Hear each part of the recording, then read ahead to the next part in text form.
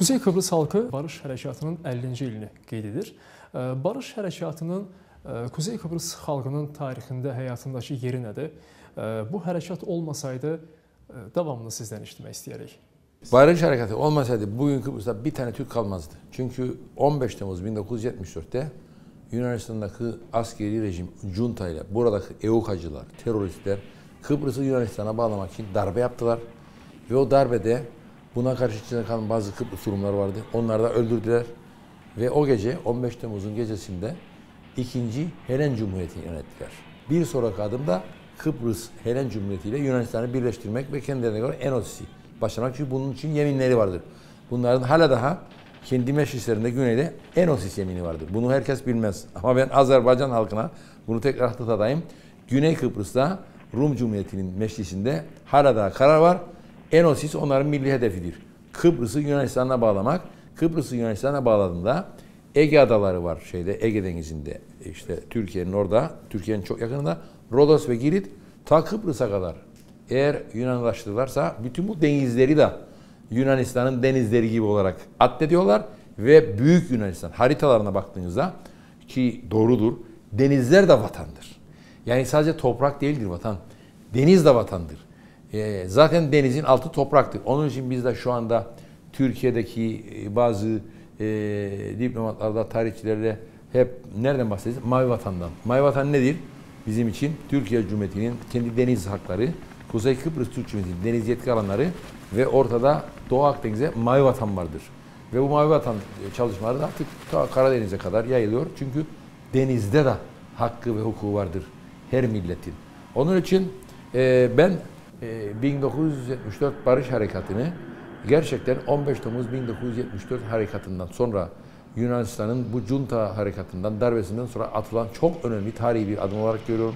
Ve 20 Temmuz'da bir e, harekat olmaydı. Bugün Kıbrıs'ta Türklük yok olacaktı. Çünkü 15 Temmuz'un darbenin planladığı Kıbrıs'ı Yunanistan'a bağlamaktı. Bir sonraki adım e, belki 20 Temmuz gün olurdu, belki de 25 Temmuz olurdu ama çok uzun sürmezdi. Türklere saldıracaklardı ve Türkleri katledeceklerdi. Zaten 1963'te saldırdılar, 67'de saldırdılar. Çok defalar Kıbrıs'ta Rum Yunan ikilisinin Türklere saldırılar vardır ve biz çok insanlarımızı kaybettik. E, e, sivil insanlarımızı, çoluğumuzu, çocuğumuzu e, katliamlarda hep kaybettik. Ve 15 Temmuz 74 kendi aralarındaki bir kavga, darbe ve ondan sonraki süreçte yine saldıracaklardı. İşte hamdolsun diyoruz. İyi ki Türkiye Cumhuriyeti o zaman bu kararı aldı.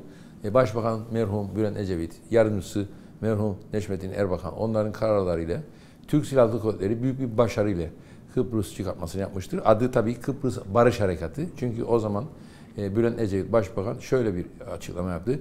Biz Kıbrıs'a gidiyoruz, Kıbrıs'a barışı götüreceğiz. Çünkü o güne kadar Kıbrıs'ta hep kan dökülmüştür. 20 Temmuz 1974 Barış Harekatı ile Kıbrıs'a barış götürülüyor ve bu barışı hem Türklere hem Rumlara götürüyoruz. Nitekim de öyle olmuştur. Yani 20 Temmuz Kıbrıs Barış Harekatı ile Kıbrıs'a kalıcı barış gelmiştir. Bugün işte 50. yıl dönümü kutlamaya hazırlanıyoruz. 50 yıldır Kıbrıs'ta kimsenin burnu kanamamıştır. Artık çatışmalar son bulmuştur. E, iki halk arasındaki e, savaş son, son bulmuştur.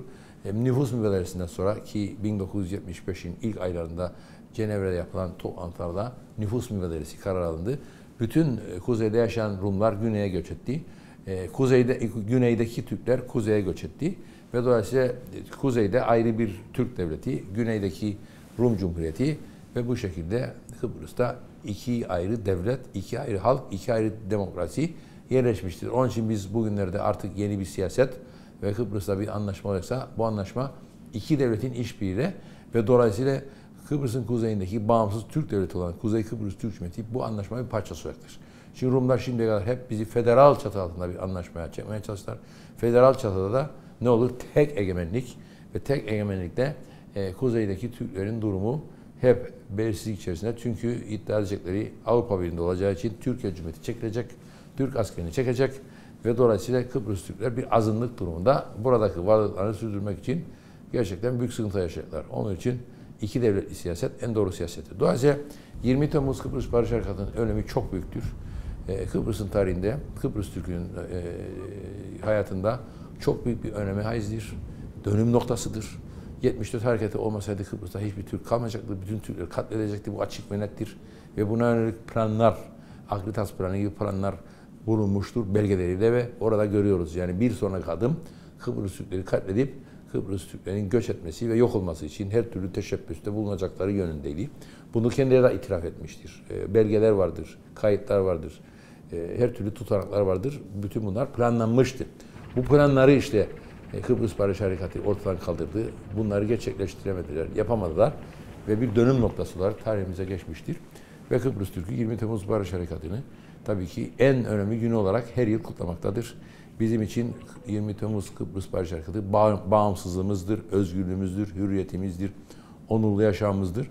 Çünkü Kuzey Kıbrıs Türk Cumhuriyeti'nde bağımsız, özgür ve her türlü e, insan değerleriyle e, onurlu bir yaşamı sürdüren Kıbrıs Türk halkı bütün bunları 20 Temmuz 1974 Kıbrıs Barış Harekatı'na borçludur. Dolayısıyla bu kadar önemlidir.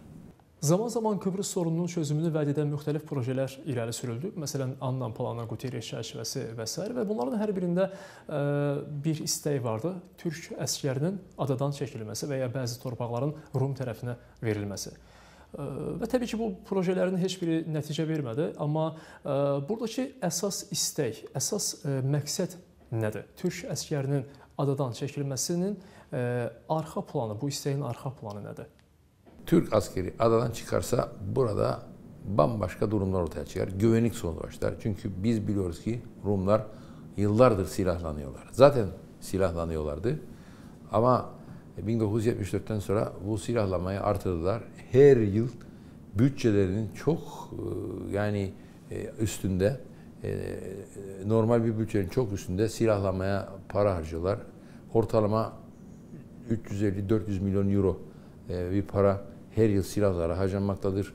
Ve dolayısıyla hesap ederseniz bu 10, 10, 10 yılda 3 e, milyar euro yapacağına göre 20 e, yılda 6 e, milyar dolardır. Yani 20-25 milyar dolarlık para harcamışlardı silahlanmaya son yıllarda ve silahlanmaya da devam ediyorlar. Bunu neden yapıyorlar? Ben bunu anlamakta güçlük çekiyorum. Çünkü günün sonunda eğer bir çatışma olursa Allah korusun e, Türkiye burada, Türk ordusu burada. Evet Kıbrıs'ta, Kıbrıs Türk'ünün de kendi ordusu vardır. Güvenlik Kuvvetleri Komutanlığımız ama bizim arkamızda birlikte her türlü kaderi yaşadığımız ve paylaştığımız Türkiye Cumhuriyeti ve onun kol ordusu burada. Caydırıcı bir güç olarak burada herhangi bir saldırı e, beklenti içerisinde değil, savunma için. Yani buradaki barış, huzur ve güvenliği korumak için Türk Silahlı Kuvvetleri'nin kol ordusu buradadır. Başka bir amacı yoktur. Karşı taraf işte hep bunları e, böyle dürterekten bir şeyleri e, almaya çalışıyor. O da Türk askeri alan çekilirse ne olacak? Kendisi güya rahat edecek ama işte rahat edemeyecek. Çünkü oradaki aşırı unsurlar Türklerle bir takım dalaşmaya girecekler. Yani yapılarını bildiğim için onların bir takım sivil toplum örgütleri olsun, siyasi partiler olsun, aşırı unsurlar olsun, kilerin, kilisenin baskısıyla işte e, tekrar topraklarımızı alalım, topraklarımızı özgür alalım gibisinden söylemleri geliştirmek üzere hep tehdide dönüşecek bir durum olacak. Halbuki şu anda Türk Silahlı Kuvvetleri'nin korosu burada durduğu için kimse buna cesaret etmez. Kimse ben işte kuzey topraklarında gözüm var. Ansızın böyle bir saldırıya kalkışmaları mümkün değil. Çünkü karşılığını ne olacağını gayet iyi bilmektedir. Evet bizim mücahitlerimiz mutlak surette gereğini yapmaya çalışacak. Ama e, Türk ordusuyla, Türk Silahlı Kuvvetleri bir bütün olarak çok daha güçlü bir şekilde bunlardan gelecek herhangi bir tehdidi püskürtebilecek bir durumdadır. Dolayısıyla Türkiye Cumhuriyeti'nin buradaki varlığı çok önemli. Gerek siyasi gerek askeri. Askeri bakımdan çünkü dediğiniz gibi her an Güney Kıbrıs'tan her şey olabilir. Ama Türk ordusunun burada bulunması e, Güney Kıbrıs'tan yapılacak olan herhangi bir çılgınlığı zaten kendisi durdurmaktadır. Çünkü e, Türk ordusunun buradaki varlığının onlar için ne kadar tabii ki e, bir realite olduğunu görüyorlar. Türk ordusu burada. Dolayısıyla böyle bir saldırı e, veya çatışma hiçbir zaman düşünecekleri bir şey değildi. Ama Türk ordusu çekilirse o zaman işte bambaşka durumlar ortaya çıkıyor. Onun için Türk ordusu buradaki varlığı çok önemlidir. Ve Türk ordusu siz de görüyorsunuz. Böyle her yerde değil. Bunlar e, kendi kamplarındadır, kendi mevzilerindedir. Birilerini rahatsız ettikleri yok. Yani e, belki belli zamanlarda çarşıya çıkarlar Mehmetçikler. Ama onun dışında e, pek de göremezsiniz. Herkes işinin başındadır. Herkes kendi eğitimini yapıyor. Ona göre e, yaşamını sürdürüyor. E, ve dolayısıyla kimseye bir rahatsızlık verdikleri yoktur. Onu söylemeye çalışıyorum. Kıbrıs'ta bulunan Mehmetçiklerin, Türk Silahlı Kuvvetleri'nin hiçbir kimseye bir rahatsız yoktur. Kendilerine göre onlar kendi yerleşim yerlerinde, kamplarında tatbikatlarını yaparlar, çalışmalarını yaparlar, eğitimlerini yaparlar ve o şekilde bir anlayışla bu işe sürdürülebilir. Ama Rum tarafının bunu her zaman gündem yapması belli ki niyetleri günün sonunda Türk askerinin alan çekilmesiyle belki gün gele her türlüsüyle Kıbrıs Türk halkına saldırı ve hala daha bazılarının aklında olduğu gibi Enos yani Kıbrıs Yunanistan'a bağlanma hayalleriyle yaşayıp o şekilde siyaset yürüten Güney Kıbrıs'ta bayağı bir zümre vardır. Onlara da cevabımız biz Kıbrıs'ta barışı savunduk. Barış vardır. Kimsenin burnu kamamamıştır. 50 yıldır üstünden geçti. Bundan sonra niye kaşıyorsunuz? Kaşımanıza gerek yok. Gerçeklere bakmak lazım. Sahaya bakmak lazım. Baktığımızda Kıbrıs'ta işte herkes görüyor ki iki ayrı devlet vardır. iki ayrı demokrasi vardır. iki ayrı halk vardır. Bunları bu saatten sonra birleştirmenin hiçbir anlamı yoktur. Birleştirme demek tekrar kavgaya, davetiye çıkarmak demektir. Çünkü o kadar ayrılıklar vardır. Farklı düşünceler vardır. Onların ekonomik pozisyonu farklı, bizim farklı. Her türlüsüyle farklılıklar vardır. Ve 1974 Kıbrıs Barış Harekatı'ndan sonra elbette onların da kaybettikleri vardır. Ondan sonraki süreçte de bazı dalaşmalar olmuş olabilir. Neticede bu birikimle, bu kin ve nefret duygularıyla bu halkları siz yan yana zorla getirmeye çalıştığınızda bambaşka şeyler olabilir. Dolayısıyla bu işin akıl yoluyla sürdürülmesi lazım. Onun için ne diyoruz? İki egemen eşit devlet. O zaten egemen dünya kabul ediyor. Bizim de aynı muameleyi ki görmemiz lazım. Çünkü ayrı bir halk ve ayrı bir halk olarak kendi egemenliğimizin olduğunu hep savunduk, savunmaya devam edeceğiz. Bizim de egemenliğimizin kabul görmesiyle o zaman bir müzakere sürecine tekrar geçirebilir. Durum bundan ibaret. Birləşmiş Millətlər Təşkilatı Təhlükəsizlik Şurasının 5 daimi üzv arasında Rusiya da var bildiyimiz kimi və Rusiyanın hazırki e, dönəmdə, hazırki e, vəziyyətdə e, Ukrayna savaşı var, digər tərəfdən Sayın Ərdoğanla Putin arasında ciddi bir yaxınlaşma var. Bu vəziyyətdə Rusiyanın Kıbrıs sorununa baxışı nədir? Bu mövzudakı onun duruşu nədir Moskvanın? Şimdi Rusya tabii büyük devlet ama neticede Ortodoks Güney Kıbrıs Ortodoks, Yunanistan Ortodoks, Sırplar Ortodoks. Bunların kendine göre bazı güçlü bağlar vardır. Ve bu güçlü bağlar tabii aralarındaki ekonomik e, bir takım e, projeleri, bir takım e, e çalışmalarda zaman itibariyle yoğunlaştırmıştır. Ukrayna Savaşı'ndan sonra Rusya ile Güney Kıbrıs'ın arasına tabii ki bir soğukluk girmiştir. Tamamen kopmuş da değil çünkü Güney Kıbrıs'ta hala daha çok sayıda Rus yaşıyor. 100 bine yakın Rus'tan bahsederler. Dolayısıyla aralarında güçlü bağlar vardır. E, dolayısıyla e, Rusya her zaman Kuzey ile ilgilenirken, Kuzey Kıbrıs Türk Cumhuriyeti bakarken bana göre bir çekingenliği vardır. Çünkü normal şartlarda Türkiye ile çok büyük bir yakınlığı vardır. Özellikle Ukrayna Savaşı'nda Türkiye ara buluculuk yapmış. Türkiye gücünü sınavdan geçirmiş.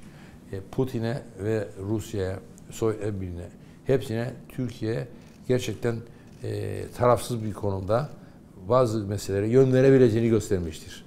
Tahıl koridorunun oluşturulmasında işte her türlüsüyle e, Ukrayna'dan veya Rusya'dan getirilen buğdayın, arpanın e, dağıtılabilmesi için, insanlığa hizmet için çünkü çok büyük de pandemi döneminde rahatsızlıklar ve hatta açlık bile vardı Afrika'da. Bütün bunları kim başardı? Cumhurbaşkanı tabii Recep Tayyip Erdoğan Türkiye Cumhuriyeti'nin Cumhurbaşkanı ama burada Türkiye'nin ağırlığı da hissedilmiştir. Ve Rusya da bundan memnuniyet duymuştur diye düşünüyorum ben baktığımda. Yani Türkiye o ilk günlerinde savaşın herkes Rusya'dan kaçarken Türkiye ara bulucunu yapmış ve Rusya'ya da yani gerektiğinde ağırlığını koyarak ilişkileri dünya insanlığı için sürdürebileceğini göstermiştir Türkiye. Yani Türkiye orada abilik yapmıştır. İki taraf arasında uzlaşıcı bir pozisyonda. E, ki ben bunu Antalya Diplomasi Sınıfı'na katılmıştım. Orada da gördüm.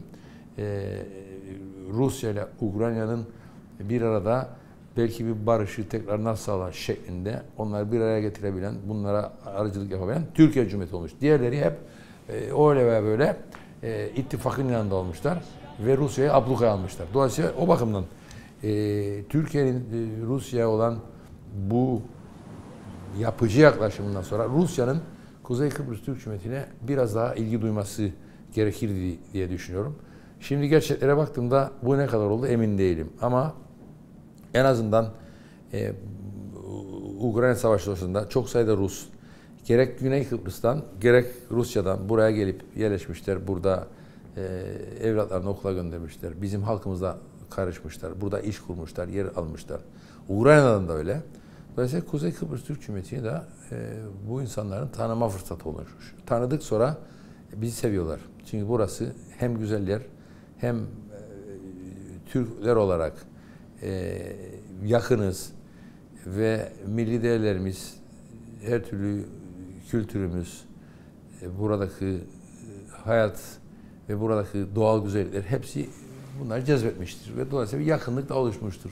Zaman içerisinde göreceğiz siyasi anlamda Rusya'nın bize olan pozisyonu nereye evridir zaman içerisinde göreceğiz. Şu anda pek daha böyle abartı bir şey söylemek istemiyorum. Her ne kadar da insanlar işte Rusya bize daha da yakınlaşacak. Bu Ukrayna Savaşı'ndan sonra Güney Kıbrıs'ta yaşadığı sorunlardan dolayı ama yani her zaman 2 2 daha 4 değil.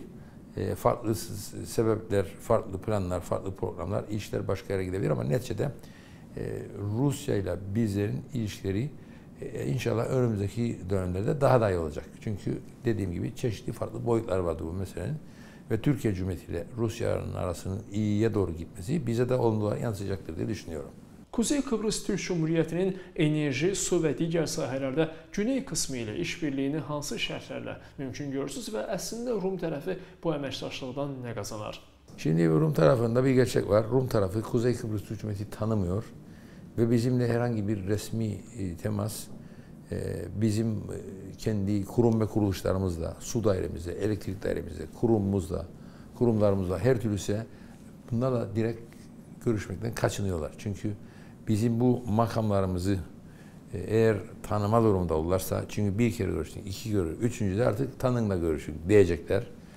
Ve e, öyle bir pozisyon düşmemek için biraz uzak dururlar. Yani bizim buradaki onların muhatabı olan kurum ve kuruluşlarımızın saygı görmesiyle ancak ciddi anlamda bir takım hizmetler yapılabilir birlikte. Maalesef kaçınıyorlar. Yani Kıbrıs Türk'ünün müesseselerini, kurum kuruluşlarını, polisini, itfaiyesini, e, farklı makamlarını hep inkar ediyorlar, e, görüşmüyorlar ve dolayısıyla bu konularda istediğimiz gibi bir e, trend yakalayamıyoruz.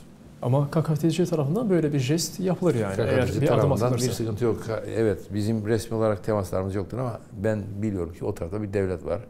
Ve o devletin makamları vardır. Dolayısıyla ben işbirliğine hazırım. Benim pozisyonum budur. Ve zaten doğrusu da budur. Ama o işte gelip benimle görüşmekten veya bir yerde buluşup da görüşmekten kaçınıyor. Çünkü diyor ki Kuzey Kıbrıs Türk makamlarını muhatap aldığımda ve benim su dairesim, su dairem mesela, Kuzey Kıbrıs Türk Cumhuriyeti'ndeki su daireyle oturup bazı şeyler görüşürlerse, fikir teatisinde olurlar. O zaman ben bir bakıma kendilerine göre Kuzey Kıbrıs Türk Cumhuriyeti tanıyorum ve Kuzey Kıbrıs Türk Cumhuriyeti statüsü yükselecek. Onun için resmi makamlarda e, hiç görüşmemeye çalışırlar.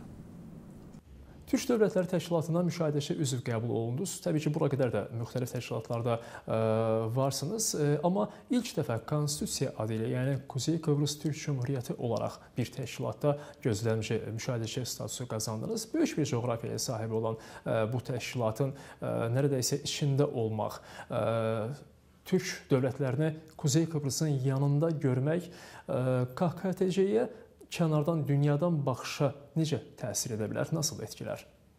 Çok iyi etkiler. Çünkü neticede biz tabii burada Sayın Recep Tayyip Erdoğan'a çok teşekkür etmek istiyorum. Çünkü onun biliyorum yakından takip ettim. Onun büyük gayretleri bizim oraya girdiğimiz ve şu anda katılımız farklı toplantılarda gerek bakanlar düzeyinde gerek sanayi odası, ticaret odası hepsi bir kere çok büyük beğeni almışlar. Çünkü neticede bizim insanlarımız gerçekten iyi insandırlar. Kuzey Kıbrıs Türkçe temsil edebilirler. Lisan bilirler. Konuşmalarını bilirler. Ve dolayısıyla orada başarıyla Kuzey Kıbrıs Türkçe'yi temsil etmişlerdir. Ben kendilerine bir kez daha teşekkür ediyorum.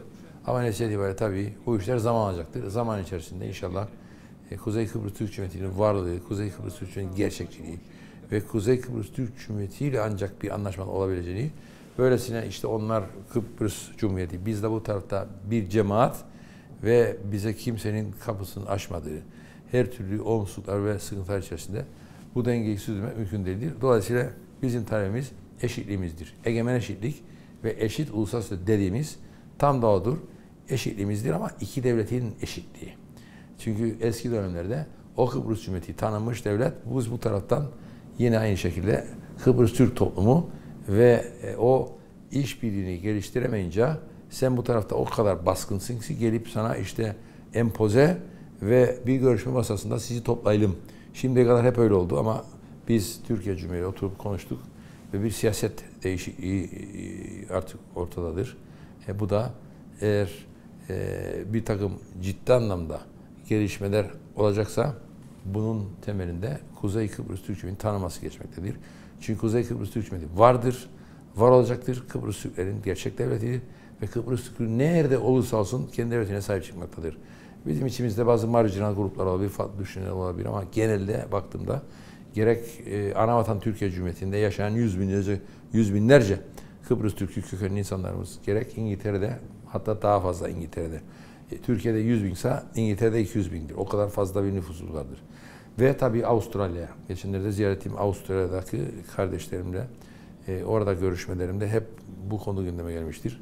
Ve söylediğimiz bizim için esas milli hedef Kuzey Kıbrıs Türkçe'nin tanınmasıdır. Çünkü çok şehitler verdik, çok bedeller verdik, çok göçler yaşadık.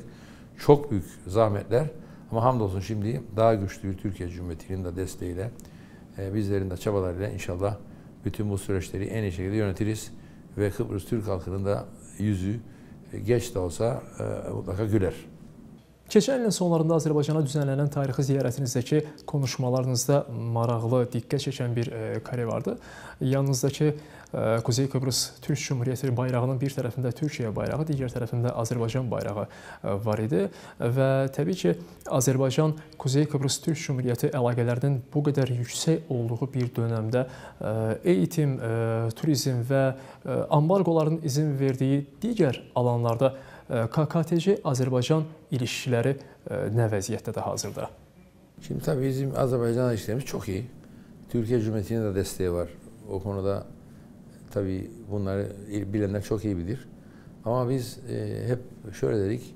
E, bir millet, üç devlet. Aramızdaki gönül birliği, gönül bağları, ayağımızdaki o anlayış birliği o kadar önemli, o kadar zengin bir kültüre dayalıdır ki biz kendimizi bizden farklı görmeyiz aynı milletin evlatları olarak görüyoruz. Gerek Türkiye Cumhuriyeti vatandaşları, gerek Azerbaycan Cumhuriyeti vatandaşları.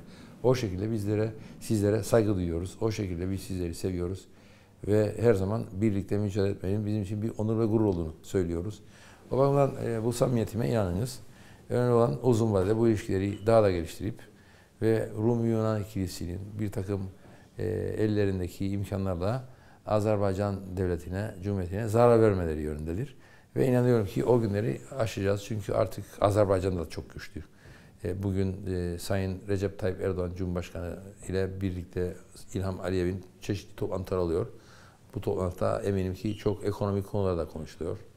E, ve birlikte Türkiye Cumhuriyeti'nin de desteğiyle Azerbaycan Devleti giderek güçlenecektir. Daha da büyüyecektir. Daha fazla kendi vatandaşına refah verebilecektir. Ve o şekilde o yapıyı orada her türlü e, olumsuzluğa rağmen sürdürebilmek bizim için çok değerli ve kıymetlidir. Onun için buradan bir kez daha ilginiz için çok teşekkür ediyorum. KKTC tanınsa da tanınmasa da vardır ve e, var olmaya devam edecek. E, Cənab Prezident Ersin Tatarın söylediği kimi. Sağ ol, çok teşekkür ederim.